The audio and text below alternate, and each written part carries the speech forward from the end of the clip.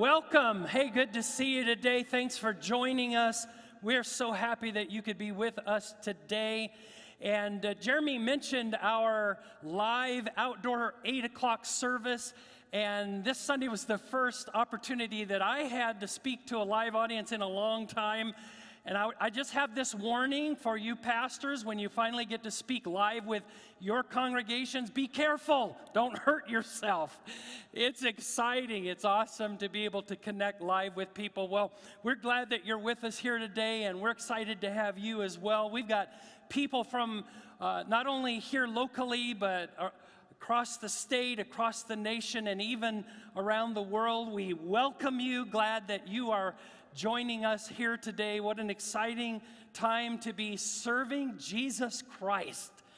Amen. So, welcome. We're glad that you could be with us. Have you ever wondered what would compel someone to risk their life to climb a dangerous mountain?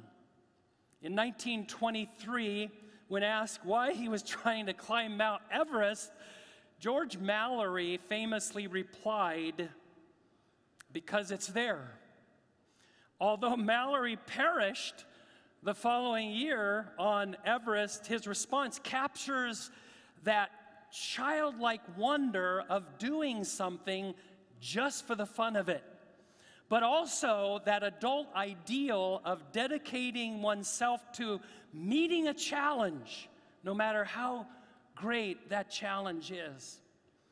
Last summer, I was privileged to join the ministry of Exodus Vision, led by our very own Dr. Faustin Uzabakilio.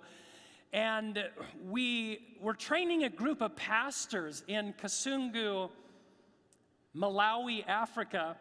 And the area actually is quite flat, except for this one lone mountain. So, what did we do? Well, one day after our sessions, we climbed it. Why did we do it? As Mallory said, because it's there. The mountain was calling, and we were compelled to climb it. Well, there was a village at the base of the mountain, and as we passed through, this group of kids began to gather with us, and they ended up climbing the mountain with us thus capturing this childlike whimsy of doing something for the fun of it, but also the adult heroic idea of dedicating ourselves to meeting a challenge. It's no secret that I love to hike. And so often on my days off, which is Monday, I will go up to the mountains, the local San Gabriel Mountains, and I, I will hike. And so this past Monday, I went up to enjoy a hike. And actually, the trail that I was taking on Monday, uh, I had to walk about three quarters of a mile uphill. It was kind of hot that day. And in order to get to the trailhead, and so, as I'm trekking up to the trailhead, I'm asking myself this question why do I do this? Why do I love to hike so much? And so, I, I think my answer is a little bit more, more complex than Mallory's.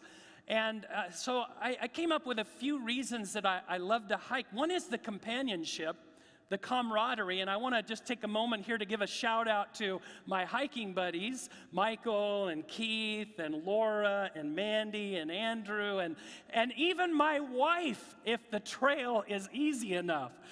But yeah, companionship, camaraderie. I also love to be outside, I love to be in nature. You know, the physical exercise, the physical exertion.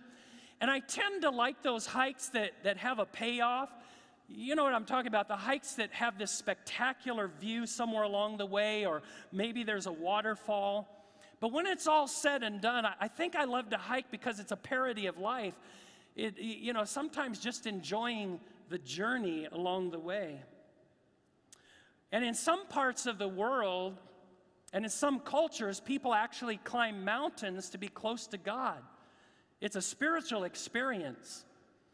So there are those in the Bible who were challenged to climb a mountain as well. Think about Abraham, who was compelled to climb Mount Moriah to offer his, his son, Isaac, on the altar. And then Moses was also compelled to climb Mount Sinai to receive the Ten Commandments. And then later in his life to climb Mount Nebo so he could get a view over into the promised land. And then, of course, Jesus was compelled to climb Golgotha, a hill outside of Jerusalem, carrying the cross upon which he would be crucified. See, these mountains represent challenge, hardship, and sacrifice. We all, every single one of us, have a mountain to climb. All of us. Not only are we compelled to climb these mountains, to overcome these obstacles and challenges in our life, but as we climb them, we are also compelled to pray. Because if you're like me, somewhere along the way, we realize that in order to be able to complete the journey, we need God. We need His help. Even Jesus, prior to climbing Golgotha, was compelled to pray. He gathered his disciples and he prayed the greatest prayer that's ever recorded. This prayer can be found in the book of John, the 17th chapter. It's one of the loftiest passages in the entire Bible. The words are indeed sacred and reveal, I believe, the heart of Jesus in such a unique way. In this prayer, Jesus prays for his followers just before being betrayed and arrested. And it's abundantly clear that he's not just praying for those who were with him on that fateful night as they shared the Passover meal, but he was also praying for you and for me. He said as much.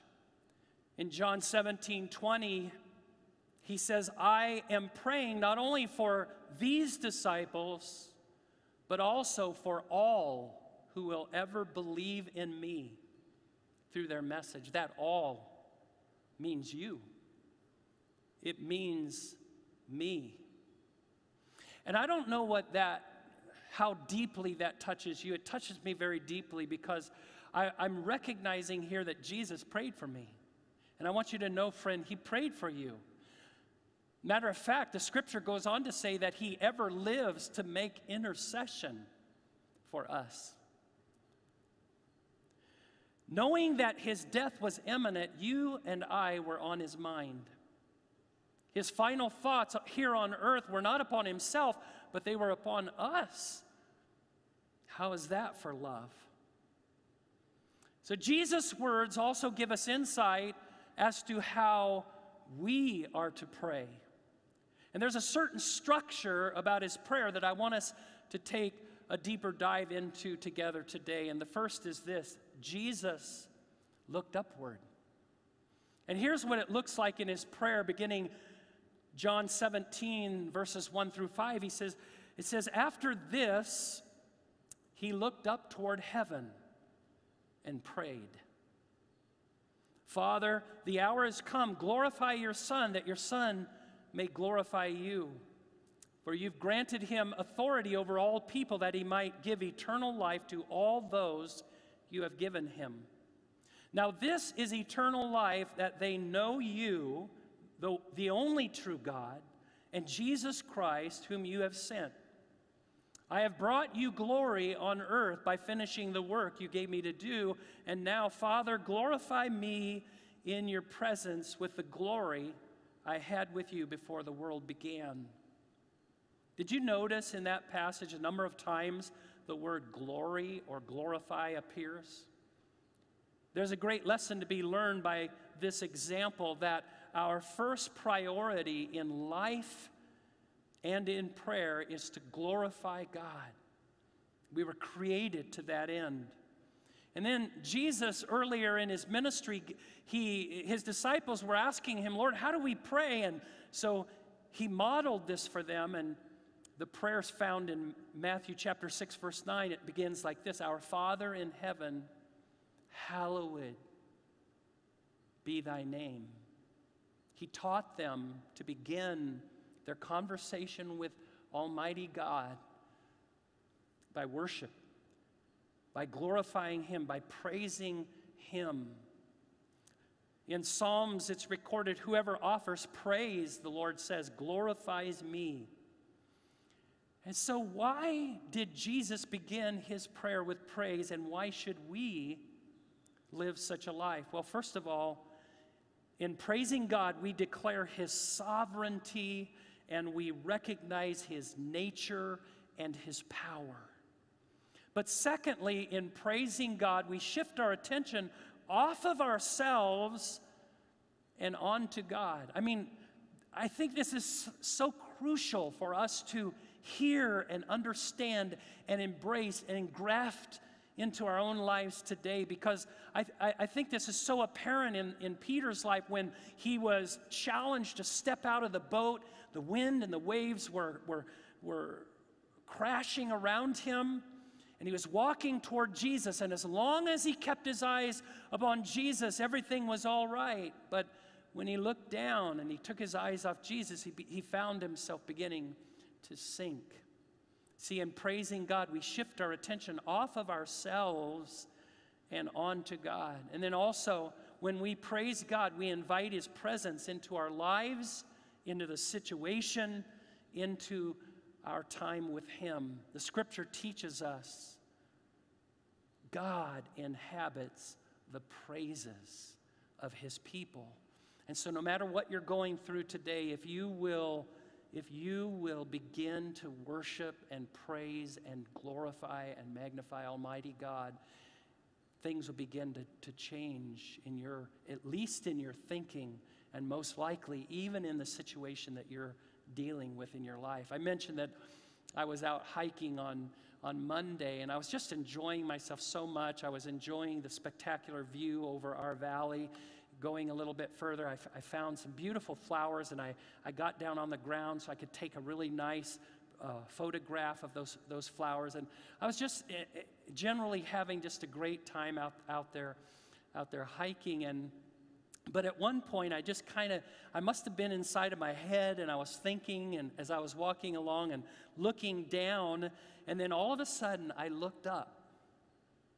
I looked up and I saw a deer in the trail ahead of me, just hopping down the trail in front of me. Had I continued to look down, I would have missed it. And I think that's a great lesson for us because sometimes we just get, we're, we're focused on the situation the problem and, and, and even just work and all the stuff that we do, I think every once in a while we just need to stop and look up.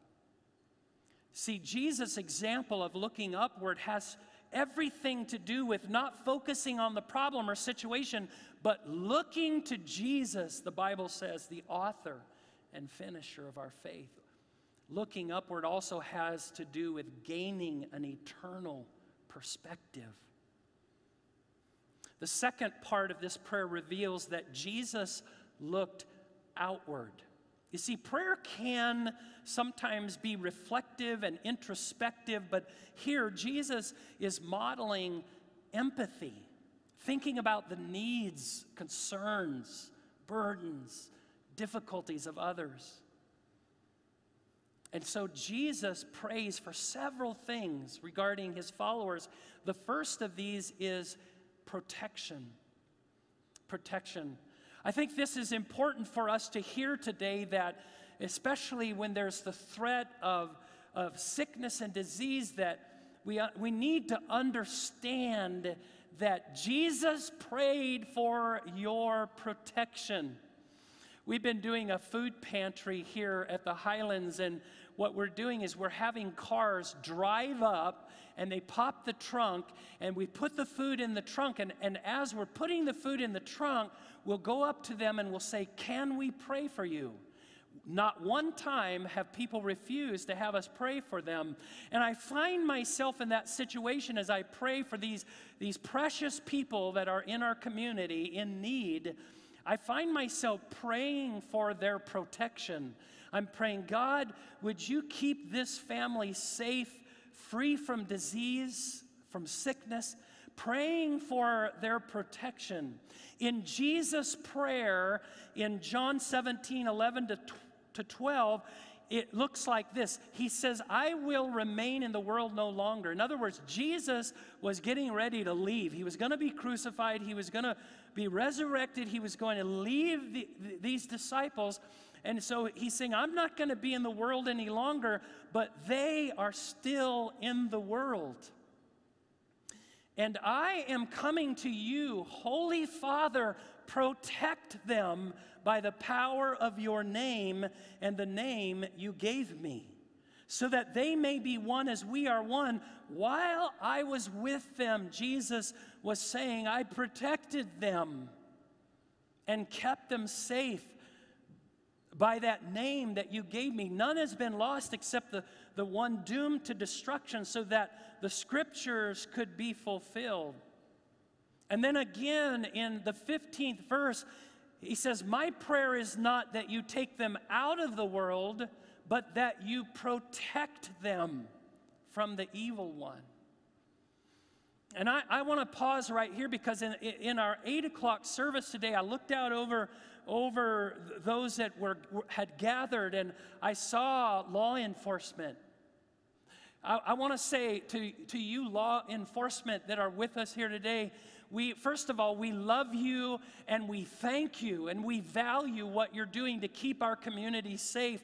And we know that it's not easy out there and we know that it's dangerous, but I want to encourage you with this that God, His hand of protection is upon you. And I looked out uh, this morning at the, at the group that had gathered, and I saw people that are doctors and nurses that are part of the medical field. And, and, I, and I said to them, and I want to say to those of you that are part of the medical field, I want to say that God's hand of protection is upon you. Thank you for doing what you're doing to serve our community, putting yourself at risk thank you, but also be encouraged that Jesus prayed for you, that you would be safe and protected.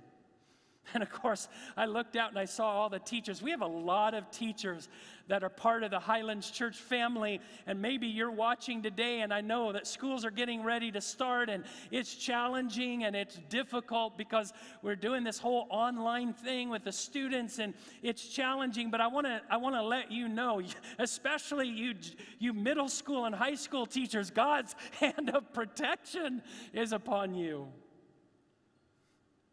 The first idea of protection or safekeeping is like that of a shepherd watching over his flock. And we're reminded of what David said. He, he said, The Lord is my shepherd. I love that. Secondly, the idea of protection is that of a father. In verse 11, we, we will notice that Jesus said, Holy Father, would you protect them? The role of an earthly father and our heavenly father is to protect, to guard, to keep his children safe. And it's uplifting to know that God is the sentinel who stands guard over our lives, protecting us from the onslaught of the enemy, certainly spiritually. But I think during this time, it's also important that we know He stands as a sentinel to guard us also emotionally and physically. Jesus also prayed for unity. He prayed a number of times that his followers would be one. In verse 11, he said, So that they may be one as we are one. And then in verse 21, he prayed that all of them may be one, Father, just as you are in me and I in you. And then in verse 22, he goes on to pray, I have given them the glory that you gave to me, that they may be one as we are one. Do you, do you hear and feel the intensity with which Jesus is praying for unity? And in verse 23, he goes on to say, I in them and you in me, so that they may be brought to complete unity. Then the world will know that you sent me and have loved them even as you have loved me. What I love about these statements is that it makes it abundantly clear that the unity God desires is based on a unity that already exists in heaven between the Father and the Son and the Holy Spirit. It is the very nature of God. So the question is how can we attain unity? I think it, it, it can begin, there's an epicenter called the family. We can pray for unity within our homes. As believers, we can model what unity looks like within the context of our families. And then also, we can attain unity as we learn to listen to others. We can seek to understand. We can love. We can invite others who are different than we are to the table. Notice that Jesus didn't pray necessarily for harmony, that we'd all get along. He prayed a deeper prayer, a prayer for unity. See, because we're not always going to agree on all things, but that doesn't mean that we can't have unity. Twice he says that we are to unite as witnesses to the unbeliever. He says, So the world may believe that you sent me. In John 13 35, Jesus also said, All people will know that you are my followers if if you love each other. See, according to Jesus' words, unity leads to faith. Conversely, disunity fosters doubt and skepticism. And I would say to believers today, the reputation of God is at stake when it comes to unity. See, Jesus also prayed that we might be filled with joy. In verse 13, he says, I am coming to you now, but I say these things while I'm still in the world so that they may have the full measure of my joy. See, joy is the byproduct of a relationship with Jesus Christ. The joy we're talking about finds its source in Jesus that they may have the full measure of my joy. How much joy? The full measure, like a cup that's running over. The psalmist said, My cup overflows. And so Jesus looked upward, outward, and thirdly, the scripture reveals Jesus looked forward. See, we must be careful not to get stuck in the past. Whether it's past accomplishments or past failures, as Jesus did, we must look forward. I mean, think about this. We, we drive in automobiles that have this great big windshield that we look out to see where we're going and we have these little bitty rear view mirrors. And rear view mirrors are helpful. I mean, we look in our rear view mirrors to gain perspective, to see where we've been. But think about this. What if you got in your car and you began to drive down the road, and instead of looking out the, wind, the windshield, you focused solely on the rear view mirror? I mean, how would that work? It wouldn't be long before you went off the road in a ditch, or it wouldn't be long before you rear ended someone or veered over into a lane and, and have a head on collision. The lesson is this an occasional glance in the rearview mirror is helpful, but we can't drive down the road looking at the past only. God has this great, big, marvelous future. Let's, let's look forward. In this prayer, Jesus was commissioning his followers to tell everyone, everywhere about the saving grace of God. In other words, Jesus was saying, Look forward. Look forward. And in his prayer in verse 18, it looks like this As you sent me into the world, I have sent them into the world. And, dear friend, today, if you're a believer and, and, and you're participating in, in this gathering with us today, I want you to say this right where you are. I want you to say, I'm sent. I've been sent into the world. In Matthew's gospel, it looks like this Jesus said, again, some of the last words that he would speak, therefore go and make disciples of all nations, baptizing them in the name of the Father and of the Son and of the Holy Spirit, teaching them to obey everything I've commanded you, and surely I am with you always, even to the very end of the age. You see, we have a mission to carry the gospel to the world. That's why we go to Southeast Asia. That's why we go to Africa. That's why we go to Haiti. That's why we do a food pantry. That's why we do what we do. That's why when the coronavirus hit and we were restricted from being able to have in person services, we didn't stop.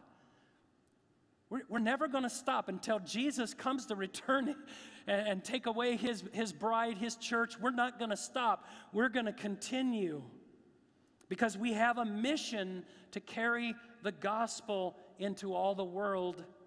And our mission can be summed up in one word, and that word is people. We have been called, commissioned by God to reach people to love people, to help people, to be with people. We must realize that this sending out is for every believer, not just a few. It's for all of us. We, every single one of us, are God's messengers. Jesus prayed for you. He prayed that you would be able to share this good news with friends, family, and those around you. With this prayer as a model, our prayers are to reflect the will of God, not our own will. You see, Jesus has a much higher purpose in mind than merely taking care of our needs and wants. Don't get me wrong. He does that. But He wants so much more than that for us. He shows that prayer's highest aim is not for our will to be done, but that the will of God be done here on earth. And so we come back to this statement made in his prayer I am praying not only for these disciples, but for all who will ever believe in me through their message. Do you want to know how to get on Jesus' prayer list? Believe in him. That's where it all begins. That's where it all starts. And I know that there are some that are, are, are with us today, and you've never taken the opportunity to express your faith in God alone. Before we finish here today, I want to give you that opportunity. We're going to pray, inviting Jesus to come into our lives. And I'm inviting you, dear one, to pray that prayer with us. But also, I want each and every one of us to contemplate what God is speaking to us about today. Maybe you need to look up. You need to look up. You've been focusing on the problems and the situations and the stress, stressful things in your life, and, and the Lord's challenging you. Look up. Look up. Maybe you just need to recognize that Jesus prayed for your protection that His hand is upon your life, that He is there with you. Or maybe He's challenging you to look forward. Maybe you've been living in the past. Maybe you have been with, you've been withheld by your failures of the past. I want you to know you can move past those. Stop driving down the road looking in the rearview mirror. There's a great big world out there that God created for you to enjoy.